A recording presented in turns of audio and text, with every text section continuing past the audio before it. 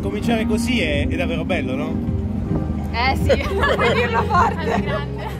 Sì, sì, siamo molto contenti, abbiamo fatto un'ottima partita e abbiamo gestito bene il vento che continuava a cambiare oggi e super Vale perché è stata veramente veramente brava oggi.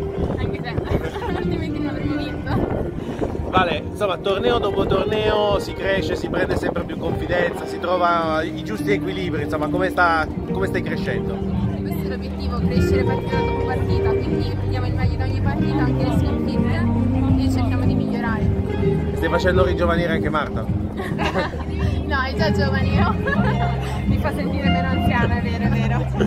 No, Marta, insomma, cominciare così con una vittoria mette già il, il torneo in un certo indirizzo, anche perché era la coppia più forte del girone sulla carta, quindi adesso gli obiettivi diventano ancora più interessanti, no?